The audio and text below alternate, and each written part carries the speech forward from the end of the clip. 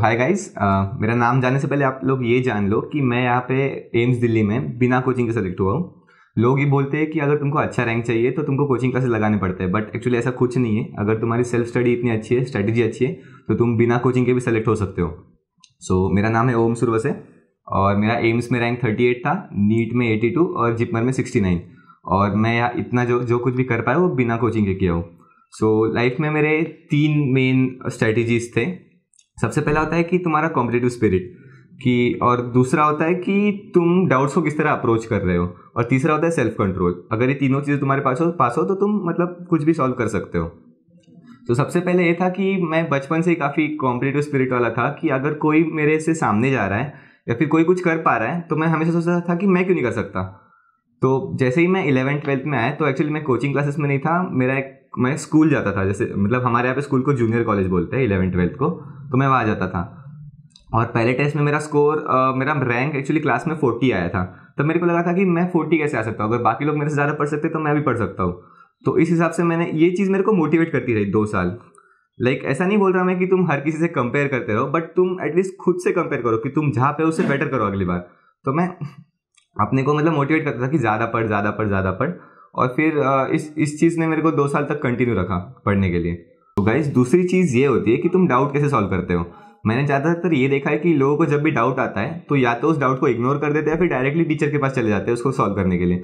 तो ये जंप जो तुम करते हो ना, ये तुम्हारे लिए पॉइजन की तरह काम कर रहा है कि अगर तुमको डाउट आ रहा है तो तुम डायरेक्टली अगर रेडीमेड मटेरियल ले रहे हो तो इससे तुम्हारे ब्रेन को कुछ एक्टिवेट नहीं हो रहा। तुम्हारा ब्रेन मतलब कुछ काम नहीं कर रहा है इसमें तो तुमको याद नहीं रहेगा ऑन द लॉन्ग टर्म पे।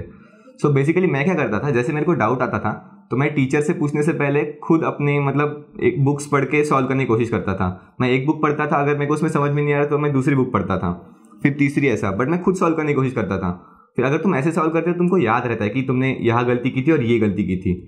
और फिर क्या होता है कि कभी कभी हम ज़्यादा पढ़ पढ़ लेते हैं ज़्यादा बुक्स रेफर करते हैं फिर भी अपने को समझ में नहीं आता कि ऐसा क्यों हुआ है। तो ऐसे टाइम पे फाइनली तुम टीचर के पास जा सकते हो।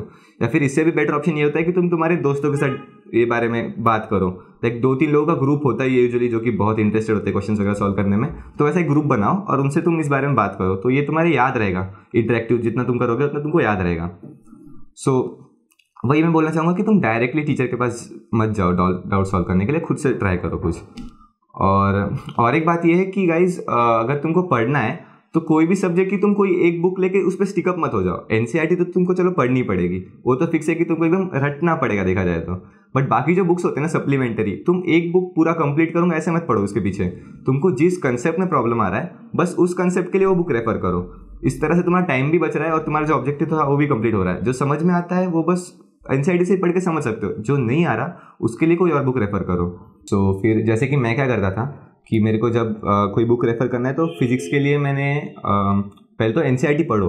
लोग बोलते हैं कि फिजिक्स एन इंपॉर्टेंट नहीं है बट अगर तुम वो नहीं पढ़ोगे तो तुमको कंसेप्ट इतना अच्छा नहीं समझेगा। जहाँ तक मैंने बुक्स पढ़े वहाँ तक सबसे बेस्ट फिजिक्स की कंसेप्ट एन में दिए तो वो अगर तुम्हारे पास टाइम है तो पढ़ो। अगर तुम अब भी स्टार्ट कर रहे हो तीन महीने पहले तो फिर उसकी कोई ज़रूरत नहीं है। सो so, तुम कोई बुक सॉल्व करने को लो। जैसे फिजिक्स के लिए मैंने मॉडर्न फिजिक्स की ए टू जेड ली थी और डाउट पढ़ते ही एच सी वर्मा पढ़ लेता था। और मैं कभी कभी हायर क्वेश्चंस के लिए चैतन्य का जेई मटेरियल सॉल्व करता था। फिर सेकेंडरीली फिजिक्स के बाद केमिस्ट्री के लिए बालाजी पब्लिकेशंस के कुछ बुक्स आते हैं, वो एक तुम ले सकते हो, वो भी अच्छे हैं काफ़ी। और केमिस्ट्री के लिए basically previous year question solve करो, उससे तुमको आइडिया आता है कि कौन से पॉइंट्स इंपॉर्टेंट है। और बायोलॉजी के लिए तो आई गेस एन तुम जितने बार पढ़ोगे उतना ही सही है। तुम क्वेश्चन सॉल्व करिए कुछ खास फ़ायदा नहीं क्योंकि बाहर से होते हैं। और बाहर के मतलब कहाँ से भी डाल सकते हो तो एन पढ़ो बेसिकली वही करो। तो, तो फिर तीसरा पॉइंट जो कि सबसे इंपॉर्टेंट पॉइंट है वो है सेल्फ कंट्रोल का। जैसे कि हम सब लोग एक शेड्यूल बनाते हैं और शेड्यूल को फॉलो करते हैं। और बट ऐसा होता है ऐसा टाइम आता है कि तुम उस मतलब मेरे साथ ऐसा हुआ था कि उस शेड्यूल में मतलब एक दिन पीछे रह गया समझो एक दिन तुम पढ़ नहीं पाए। फिर अगले दिन मेरे को लगता था कि यार कल का रह गया कल का पढ़ते फिर इस बात में मेरा आज का भी जाता था। फिर ऐसे दो तीन दिन बाद फिर ऐसा होता है कि तुम मतलब पीछे पड़ जाते हो पूरा। ऐसा लगता है कि तुम चार पाँच दिन तुम्हारे टाइम टेबल में पीछे पड़ गए हो। फिर एक ऐसा होता है कि तुम्हारा मन ही नहीं करता पढ़ने का तुम्हें लगता है कि पीछे रह गई पढ़ाई फिर एक तुम फीडबैक में चले जाते हो कि ना पढ़ने की वजह से तुम आगे भी नहीं पढ़ रहे। तो इस फीडबैक से निकलना इंपॉर्टेंट है। जैसे मेरे साथ क्या हुआ था कि जब आ, मतलब टेंथ में हर किसी के साथ ऐसा होता है ठीक है? कि इमोशन जैसे एकेडमिक्स की लाइफ चल रही है उसके साइड में ही तुम्हारी बाकी लाइफ भी चल रही होती है। काफ़ी लोगों से इमोशनल अटैचमेंट्स होती है और काफ़ी रिलेशन ब्रेक होते हैं और वो हर्ट करता है। लाइक like, टेंथ में मुझे एक लड़की पसंद थी और मेरा कुछ ऐसा हो गया, हम हम दोनों के रिलेशन ब्रेकअप हो गए। और उसके बाद फिर मैं थोड़ा सा डिप्रेस सा था तो मैं पढ़ाई पे कुछ खास वो टाइम पे ध्यान नहीं दे पाया था। इससे थोड़ा सा बैकलॉग हो गया था मेरा। फिर ज़रूरी ये होता है कि तुम इस बैकलॉग से, इस फीडबैक लूप से बाहर कैसे निकलते हो?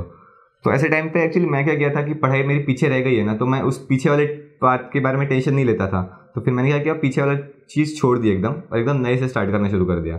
लाइक दो महीने का मेरा पीछे छूट गया ठीक ठीक है, मैं छोड़ दिया। और फिर अब आज जो सिखा रहे, फिर से उस पर फोकस करो। सो इस तरह तुम प्रेजेंट का जो है, उसको एंजॉय कर सकते हो। जैसे प्रेजेंट में तुमको जो सिखाया गया है, वो तुम पढ़ोगे, वो तुम्हारे रिसेंट मेमोरी में होता है तो तुमको ज़्यादा याद रहेगा। फिर ऐसे ऐसे फिर मैंने एक नया साइकिल स्टार्ट कर दिया कि आज आज जो सिखा रहे वो फिर से पढ़ना है। पीछे का मैं छोड़ दिया, और फिर बीच में छुट्टी आते रहते दो तीन दिन के छुट्टी आते वो टाइम पर पीछे का पढ़ लेता था। इस तरह से तुम्हारा कोई बैकलॉग नहीं होगा। तो तुम ये एक स्ट्रेटेजी फॉलो कर सकते हो। सो so, अभी के जो स्टडीज़ सब बोला था वो तो लॉन्ग टर्म रन के लिए। तो अभी बस सेवेंटी एटी डेज़ बाकी एग्ज़ाम्स के लिए। तो अभी तुम्हारा मेंटेलिटी थोड़ा सा ऐसा होना चाहिए कि सबसे पहले तो यार तुम तुम्हारा पूरा जो सिलेबस है वो कंप्लीट कर लो। ठीक है मोस्टली सब लोगों का हो जाता है जिसका नहीं हुआ वो भी अब जल्द से जल्द कंप्लीट करने की कोशिश करो ताकि तुमको फील आए कि भाई मेरा हो चुका है एक बार तो रीडिंग हो चुकी है। उसके बाद अब तुमको जो अगले साठ दिन है उसमें बस दो चीज़ें पे ध्यान देना है एक है रिकलेक्शन और एक है पेपर सॉल्विंग एक तो तुम जितना भी इतना सीखे हो अब तक, इतना बड़ा जो वास्ट सिलेबस है, उसको रिकल करने की कोशिश करो। उसको ऐसे, क्या बोलते हैं, उसको थोड़ा कंप्रेस करो, याद करने मतलब मन में तुम्हारे याद रहेगा हमेशा वो। और फिर दूसरा होता है कि तुम पेपर सॉल्व करो। इससे क्या होता है कि एक तो सबसे पहली बात तो तुम पेपर पूरा तीन घंटा बैठ के सॉल्व करो। ऐसा नहीं कि फिजिक्स का अलग से कर रहे हो और केमिस्ट्री का अलग से कर रहे हो। क्योंकि इससे तुमको एक तो फील भी आता है एग्ज़ाम वाला और तुम्हारी मतलब मेंटल तैयारी हो जाती है कि एग्ज़ाम के दिन मेरे को क्या स्ट्रैटेजी रखना है। फिजिक्स पहले करूँगा केमिस्ट्री पहले करूँगा बायो करूँगा। तो तुम्हारी एक स्ट्रैटेजी एक तुम्हारी तुमको आदत हो जाती है बेसिकली सो so, इसलिए तुम एक पेपर जब ले रहे हो तो पूरा वो 180 एटी क्वेश्चन वाला पेपर नीट का और एम्स का टू हंड्रेड वाला क्वेश्चन अब एम्स बची तो नहीं है सो नीट वाला वन वाला क्वेश्चन जो होता है वो पूरा पेपर एक बार में सॉल्व करो कंटिन्यूसली तीन घंटे बैठ के. सो so, इसके लिए एक तो तुम मतलब अब देख लो जो भी अच्छे तुमको पेपर्स मिल रहे हैं लाइक कुछ इंस्टीट्यूशंस खुद के पेपर बनाते एलन वगैरह मतलब हर कोई इंस्टीट्यूशन अपना खुद का पेपर बनाता है, वो तुम वो कर सकते हो।